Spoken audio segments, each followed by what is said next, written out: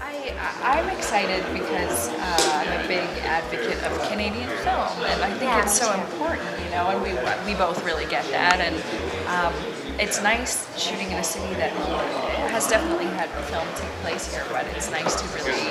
I hear that things are starting to really pick up for Edmonton. It's exciting to see what is going to happen here over the next year or two. I have like a lot of friends here, so they're sort of my. I'm still like, gotta get to Whyte Ave, and you know, gotta get to all my old places I used to hang out at, um, Yeah. at in high school. So Oh, that's so cute. yeah, yeah. I wish there was snow, actually. I love the snow, so I'm kind of bummed out. I know that it would be tough on the crew, but I, I'm, I'm waiting for snow.